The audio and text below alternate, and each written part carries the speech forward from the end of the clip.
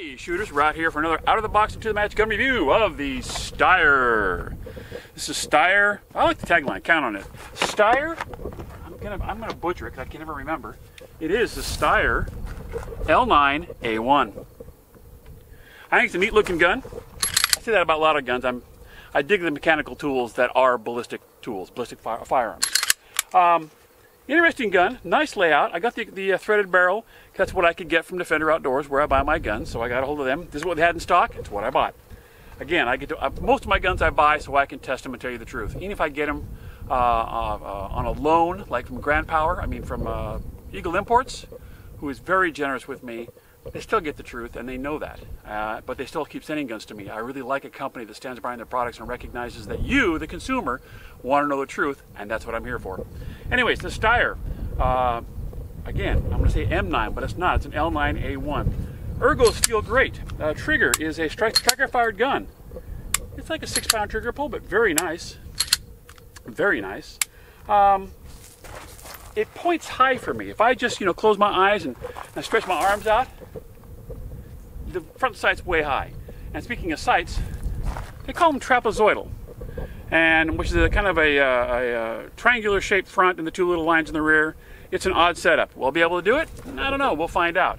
Uh, but in just a moment here, we'll uh, you know put this thing in the holster. Speaking of holsters, good old Red Hill Tactical is really good at creating holsters for whatever it is I need. And I don't think they're selling a metric ton of these guns, so a metric ton of these holsters aren't available. But this one is absolutely perfection for fit.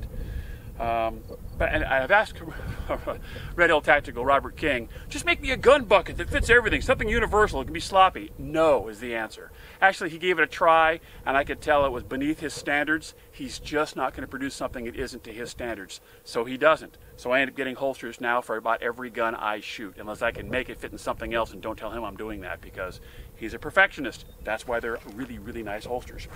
Um, PK RHT if you want 10% off on Red Hill Tactical. Anyways, guys, uh, the Steyr L9A1 is getting ready to be shot right out of the box on the range, after, range officer's command at this out of the box into the Magic Gun Review at my local club here in Ephrata, Washington. Thanks, guys. Make ready. All right. This is a really comfortable little gun. Uh, I wasn't going to tell everybody at, at home, but I'm shooting two different guns today, and they're decidedly different. And man, this thing just feels great. Steyr L9A1. Okay, it feels great. Do I shoot it great? We'll find out. Shooters ready. Stand by.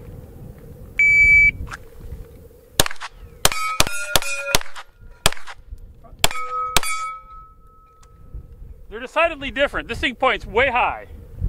598. 598. The other gun's a much more conventional grip angle.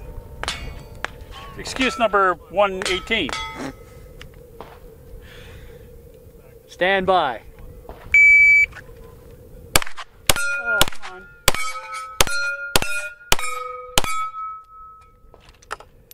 Five eighty-six. There's a scratch in the wrong space on this screen. Come on, Pat. Watch the sights. Stand by.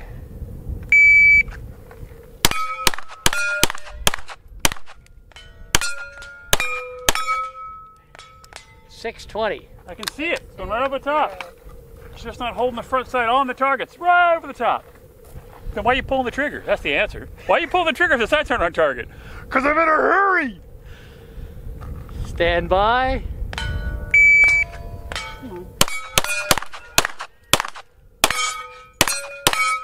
Wow.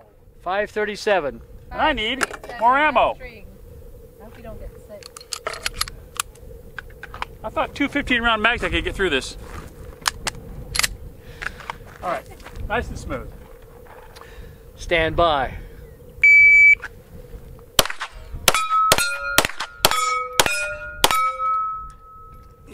Four eighty-four. And it's empty. Loaded it just right. Load show clear. Slide down. Put it away. Got such a good trigger and it feels so nice. I should be really rocking this thing now. Go ahead and make ready. Come on, Steyr. She didn't have, but I haven't. I'm shooting it. I'm shooting two guns, like I said. And I'm shooting this one. I shoot one of them back to back and the other one back to back. And the one I shoot back to back, I shoot better the second time I shoot it. So hopefully that'll happen with the Steyr.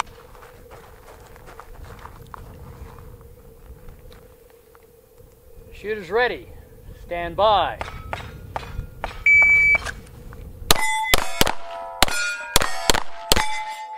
Hard! 417. Come on, Pat. Stand by.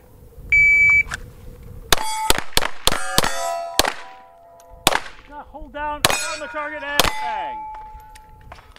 651. This is a bad sign. Running mags empty is a bad sign.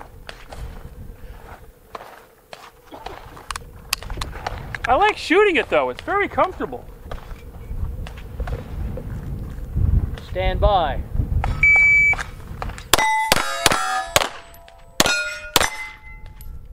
Three ninety-six. 396. Stand by.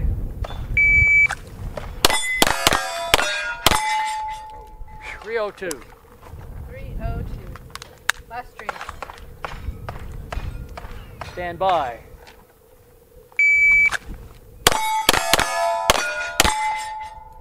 Three thirteen. 313. Unload. Show clear. Slide down. Hammer down. Put it away. Again, great trigger. Ergonomics are really good for the gun itself. It just point. I've had several other people handle it. If you're not used to it, it points way high, and it's difficult for me to force my wrist, cam it over to get that front sight on the target. It's just the nature of a particular gun design. You shoot a, a Luger, German Luger. It's got a weird grip angle. You shoot a, you know, every other kind of gun, revolvers. They're all different. You just got to get used to them. Thank you. Rock and roll Steyr. Got a heavy duty recoil spring in it, but it runs just fine. Shooters ready. Stand by.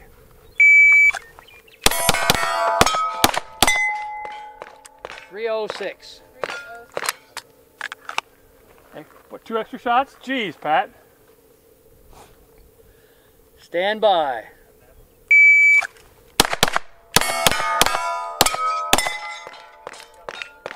Three sixty-six. Come on, Pat.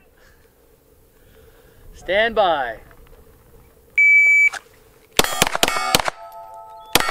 Did I get that one? Did I get that one? go. How if I get that one? Uh, 750, 765. 765. Two more rounds or one more? Two. Good. I'll put uh, a few more rounds in the gun. Having too much fun at my own ammo expense. All right. All right, stand by.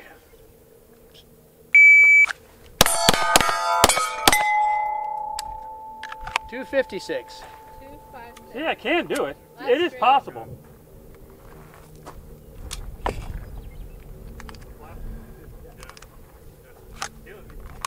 The gun's so much so much fun to shoot. It ought to come with three mags. He likes the way it shoots.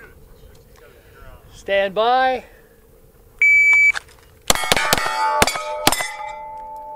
Two forty-nine. There you go. Unload, show clear. Slide down. Hammer down. Put it away. Woohoo! It is a fun gun to shoot. If I got used to it, I bet I could really rip with it. So, yeah, weird grip angle, different grip angle, not a normal grip angle, not something I'm used to. There's nothing wrong with it at all. It's a solid piece of equipment. Last chance at glory with the Steyr L9A1.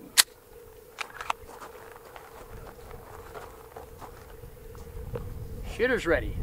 Stand by.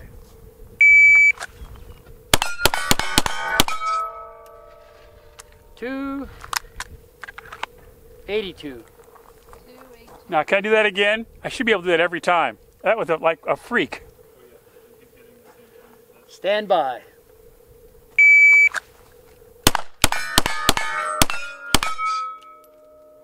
Three sixty. 360.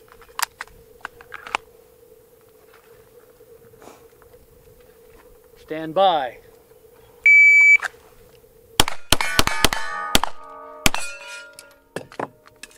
I shouldn't have to know how the gun reloads or not. I shouldn't know that. Seven six five. 765. you get one good one. It's like playing golf, right? Hit that one really good shot. You keep going the rest of your life. Buy new clubs, get lessons. Arg. Stand by.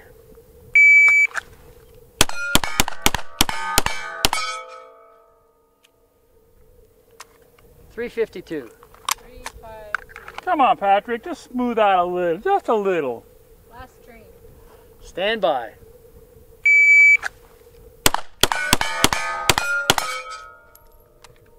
Three twenty-seven. Three, Unload so clear. Slide down. Come down. Put it away. Thank you. It is a cool gun. Steyr built a really nice gun. Um, it's one of those things, if I shot it long enough, I know I could tear it up. The gun is very ergonomically comfortable. It fits really nice in the hand. Strange how far the hand fits forward in the gun. It does point high, but you get used to it, it rocks.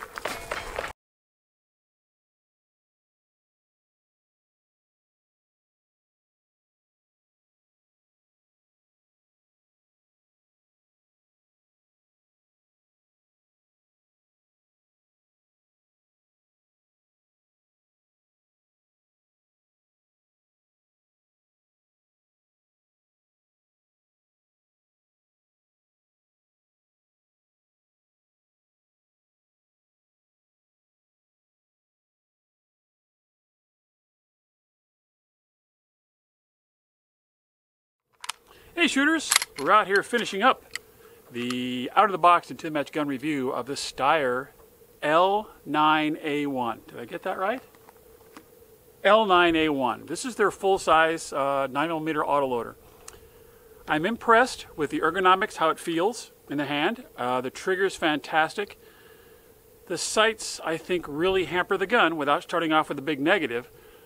I know it'll shoot better than two and a half or three inches at 25 yards. I know it will. I shoot two or three shots together and other ones are flying out. So is that a problem with the size of the barrel or the crown or something? Or is it really the, my inability to extract accuracy with these crazy trapezoidal or triangular sights, whatever they are?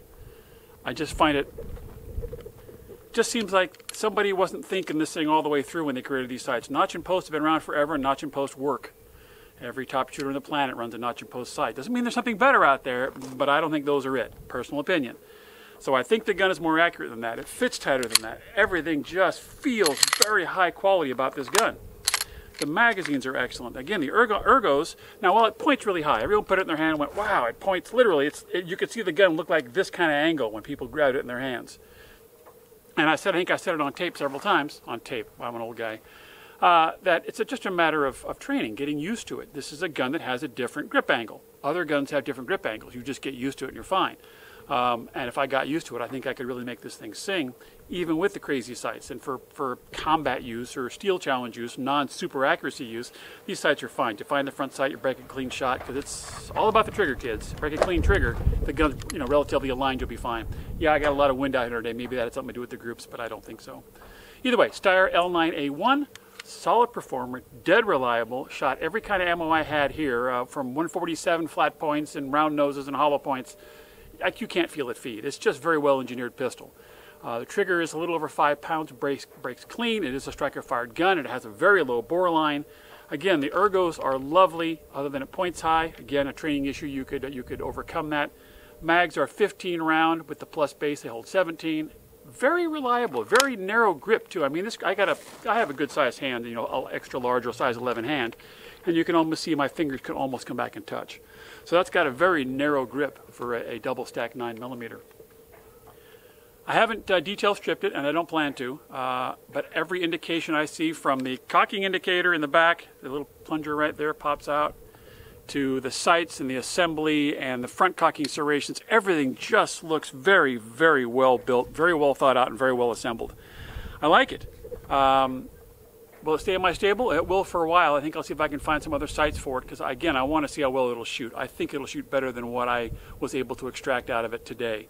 Uh, again, two and a half was uh, about good. Three is what it could do on average with me. And I had groups larger than that. And I really think it liked the 147s. The 147s seemed to throw them all over the place, so I think that may be an incompatibility between ammunition and gun. But everything else, you could see clusters and then flyer, and a cluster and a flyer. I think it was just me not being able to find a, uh, a repeatable sight picture with these with these oddball sights. Anyways, Steyr L 9A1. Solid performer, and I think they're relatively inexpensive. I remember right, I bought it from uh, Defender Outdoors where I buy my handguns. Uh, I think it was a much better value than I thought it was. It was under 500 bucks. uh, closer to four, and that's a lot of gun for 400 bucks. Anyways, guys, I hope you enjoyed it. Please like, subscribe, share. You know it's difficult, and if you, I guess there's a bell icon somewhere on the uh, a notification bell uh, on the uh, YouTube page somewhere. Click that. You know, louder, louder with Crowder. Been telling, harping on that. Hey, hit that. That way, you will actually be notified of a new video. Because sometimes people either get dropped, some people subscribe and they get their subscription dropped. YouTube's been doing some weird stuff with us gun sites.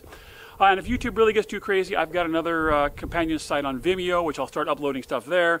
We'll keep this channel going. It's not about the money, kids. Like you guys who talked to me at the NRA show just here last week down in Dallas. You let me know you like what I'm doing, I'll continue to do it. It's not about the dollar, whole dollar a day that I make at my peak that keeps me doing this. I do this to try to get out quality information from a competitor's point of view. I've got a lot of experience with, in the firearms field. I've been competing in all different kinds of disciplines for 30 years and you guys seem to recognize some value in that, and I want to continue to offer that to you. So if you let me know you like what I do, I will continue to do what I do. So please check out Federal Ammunition because they really support me big time. Defender Outdoors to buy your guns, they support me. Savage for any kind of rifle, uh, check out Savage. Please, guys, help me out and I'll help you out. We'll talk to y'all later. Thanks a lot for watching. Bye for now.